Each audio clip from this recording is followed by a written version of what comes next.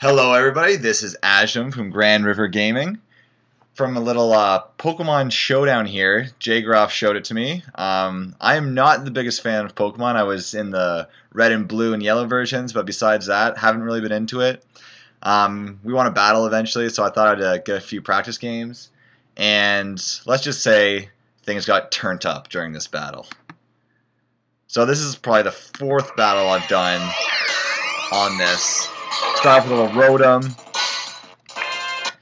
This guy goes mega on me right away, so I have no idea what I'm doing. I'm just going to substitute, see what he's going to do. And he just gets rid of it right away. Boom, gone. Um, so I'm like, okay, well, uh, let's just do it again, because why not? As I have no idea what I'm doing. His spe special attack's going lower. I'm like, oh, well, I'm screwed. Might as well just use a little, I don't even know what the name of it is. Well, go Signal Beam. Doesn't do anything to me. Pain Split, that's the one. Get my health back. This guy's an idiot. I'm just as big of an idiot. But, boom, Shadow Ball. I'm feeling special now. Wait for it. He's an idiot, uses hidden power. My substitute takes it like a boss. I take him out. Now, he brings out the big guns here. Simisage? I don't even know. Take Rotom out. Put my boy Darmanitan, Darmanitan into the fight.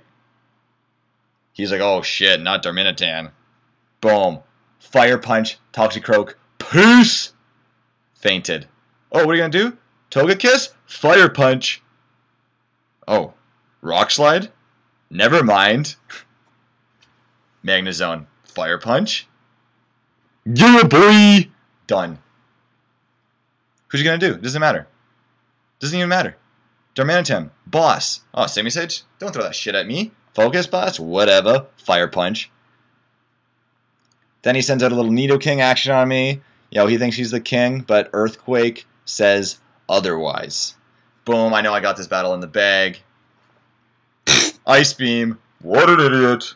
And finish off little Earthquake. Turn 12 victory for the noob, Ajnum, taking it home. Peace!